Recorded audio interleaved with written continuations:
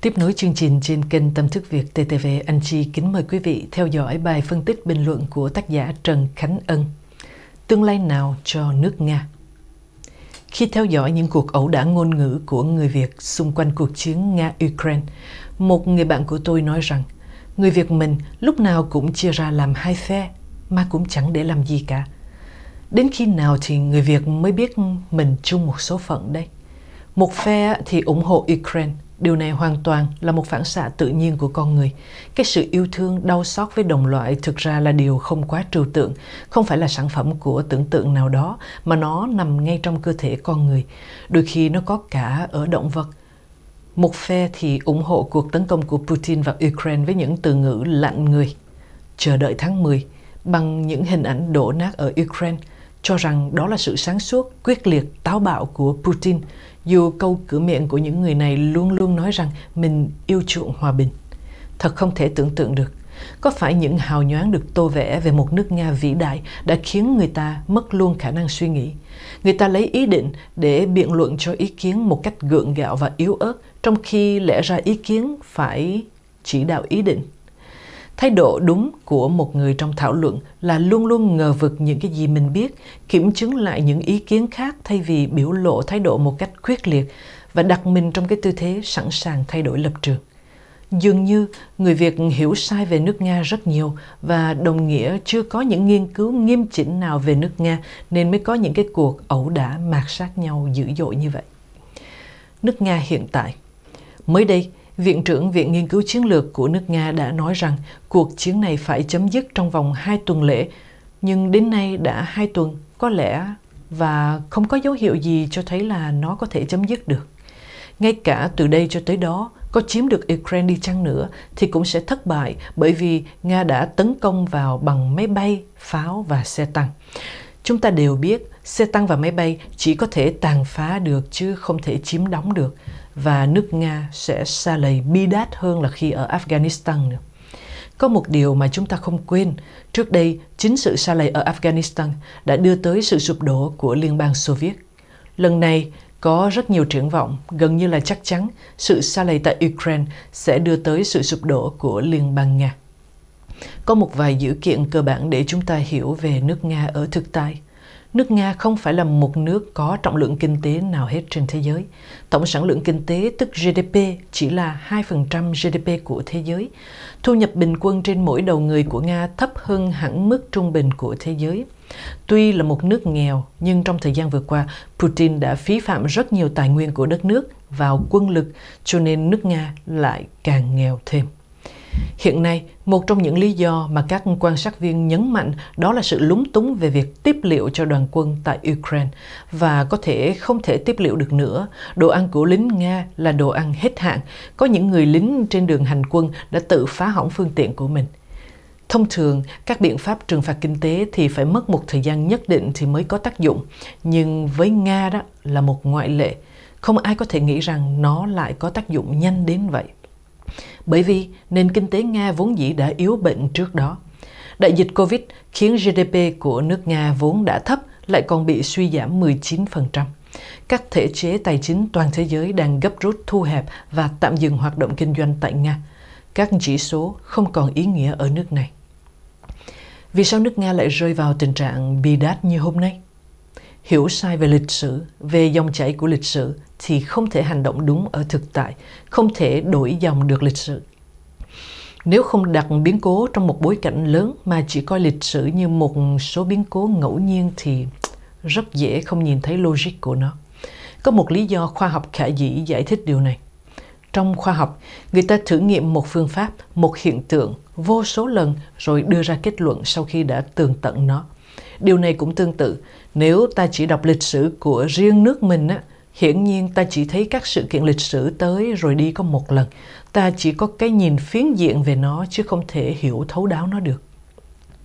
Để đưa ra cái nhìn khách quan tối đa, ta phải xem xét đồng thời cùng những cái sự kiện đó xảy ra ở các nước khác thì như thế nào? Nước Nga không hề vĩ đại như cha anh ta thấy hoặc cha anh cố tình cho ta thấy. Mục đích của Putin không phải là chiếm Ukraine mà là gây khó dễ cho Mỹ và Liên Âu, đồng thời để thể hiện với người Nga mình là nhà lãnh đạo mạnh mẽ vì danh dự tổ quốc, rồi từ đó kích thích tinh thần dân tộc cực đoan ở Nga. Lịch sử của Nga đó đặc biệt hơn lịch sử của mọi nước trên thế giới vì cho tới nửa sau thế kỷ thứ 9, cách đây 1.300 năm, không có một quốc gia nào ở cái vùng đó. Do thời tiết lạnh lẽo khắc nghiệt, con người không thể trồng cấy. Vùng đất đó ban đầu không có chính quyền, chỉ có vài nhóm người ở và giữa họ chỉ có chiến tranh chứ không hề có sự liên đới nào cả.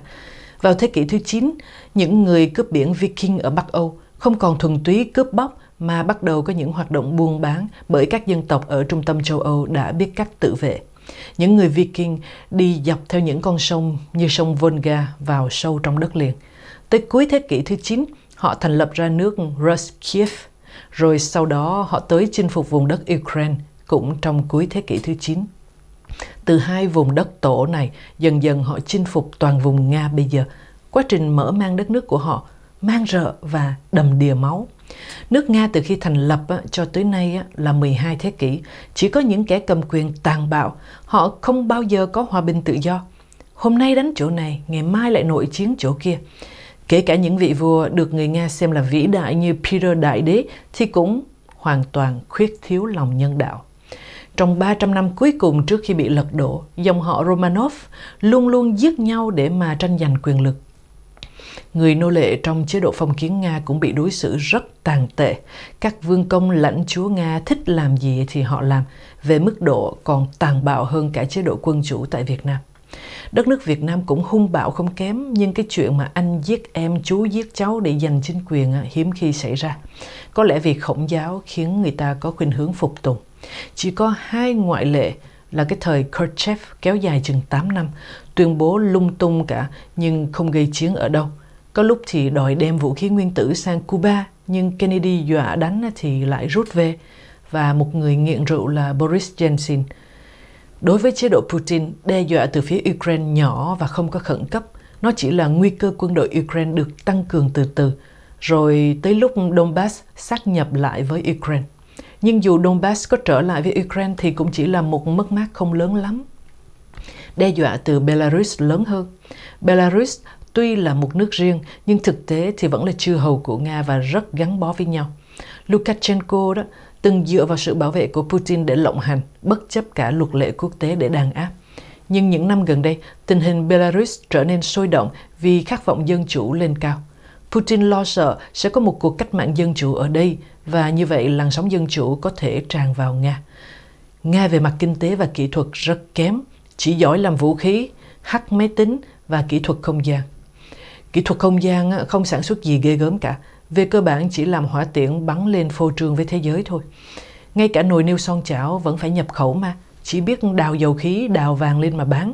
Gần đây thì biết thêm chăn nuôi, nhưng đó cũng không phải là kỹ thuật cao. Sau khi Liên Xô sụp đổ, Nga đã hòa hợp hơn về mặt sắc tộc nhưng vẫn còn khá phức tạp.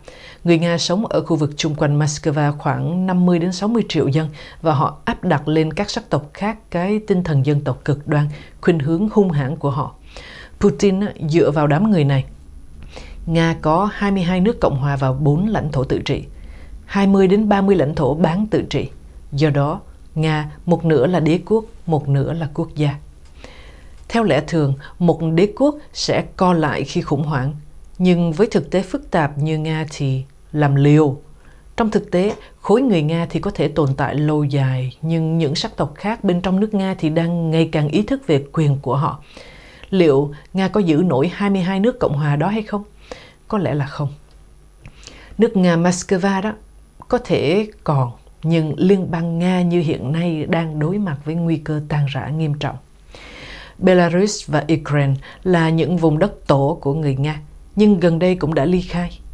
Putin đòi Liên minh châu Âu không được kết nạp Ukraine cũng như NATO phải rút hết căn cứ quân sự khỏi các nước Liên Xô cũ và Đông Âu. Đó là một đòi hỏi vô lý tới nỗi Liên minh châu Âu và NATO không thèm trả lời. Putin thấy rằng NATO đã chết lâm sàng do quan hệ Mỹ với Liên Âu rạn nứt nên mới dám sức sượt như vậy. Trước khi chiến tranh xảy ra, sau khi Biden họp với Putin xong, Biden mở một cuộc họp báo nói một câu như thế này. Nước Nga có thể xâm nhập ở mức độ nhỏ vào Ukraine và cũng có thể xâm nhập ở mức độ nghiêm trọng. Nhưng nếu xâm nhập ở mức độ nghiêm trọng thì Mỹ sẽ can thiệp. Biden không nói sẽ can thiệp như thế nào. Người ta lại hỏi như vậy là ông cho phép Nga xâm nhập vừa chăng? Và định nghĩa xâm nhập vừa là như thế nào? Thế là phát ngôn viên của Biden và Ngoại trưởng Mỹ phải thanh minh rằng xâm nhập nào cũng là xâm nhập, chúng tôi không dung túng. Có thể hiểu điều này rằng họ sẽ không can thiệp quân sự mà chỉ trừng phạt kinh tế thôi. Tuy nhiên, cũng không nên coi thường các đòn kinh tế. SWIFT vừa rồi là một minh chứng. Nga sống chủ yếu bằng bán dầu rồi mua những cái vật dụng cần thiết. Thế nên bị loại khỏi hệ thống thanh toán SWIFT thì gần như không thể mua bán gì với thế giới nữa, đồng nghĩa với việc lâm vào đường cùng. Nga vốn dĩ là một đất nước rất phức tạp. Nó vẫn có các tổ chức đối lập nên dư luận nói chung vẫn cởi mở hơn những nước độc tài còn sót lại. Nhưng băng đảng mafia của Putin càng lúc càng siết chặt sự kiểm soát bằng tuyên truyền một chiều và ám sát đối lập. Chính quyền Putin rất tích cực đẩy mạnh tuyên truyền một chiều về hình ảnh của một nước Nga mạnh mẽ đang quay lại vị thế siêu cường và gặp sự chống đối mạnh mẽ của phương Tây. Điều này khiến dân Nga bị mê hoặc bởi dân trí của Nga rất thấp. Đi từ phía đông Nga về phía Tây thì càng gần tới châu Âu thì trình độ văn minh càng cao, khi sang Ukraine cũng vậy. Thành phố St. Petersburg là thành phố giàu nhất nước Nga, nhưng so với những thành phố của các nước nghèo ở châu Âu thì cũng còn thua kém hơn. Lịch sử Nga có một số nhà khoa học khá, nhưng toàn bộ đều là những người từng sống ở Tây Âu, kể cả nhà bác học được xem là vĩ đại nhất của họ là Mendeleev. Nếu so với số nhà bác học của phương Tây thì số nhà bác học của Nga rất ít ỏi. Sở dĩ người Việt thấy nước Nga vĩ đại đều là nhờ vào biện pháp tuyên truyền cả. Người Nga cũng kém về tư tưởng như người Việt Nam vậy. Sau khi Liên Xô sụp đổ, họ cũng không có được một nhà tư tưởng nào. Putin là tay bố già mafia, còn người tiền nhiệm Yeltsin thì cư xử cũng rất là côn đồ. Hệ thống KGB cũ vẫn còn ảnh hưởng lớn ở các nước Liên Xô cũ và đặc biệt là Nga, thậm chí nó còn ảnh hưởng lớn tới các nước Đông Âu ngày nay dù đã dân chủ hóa. Putin có một người bạn thân là tỷ phú. Người tỷ phú này à, thích dân chủ nên cố gắng thuyết phục Putin nhưng chỉ nhận được lời khẳng định. Người Nga không cần dân chủ mà chỉ cần sa hoàng thôi. Thực sự, theo góc độ nào đó, Putin không sai. Lịch sử của nước Nga cực kỳ đẫm máu, giữa các sắc tộc chỉ có hận thù. Chính vì vậy, dưới góc nhìn như Putin có thể khẳng định họ cần một sa hoàng độc đoán ép buộc tất cả phải bỏ qua hận thù mà sống chung trong một nước Nga thống nhất. Đó cũng là nét đậm nhất trong bản khắc họa lịch sử của Nga.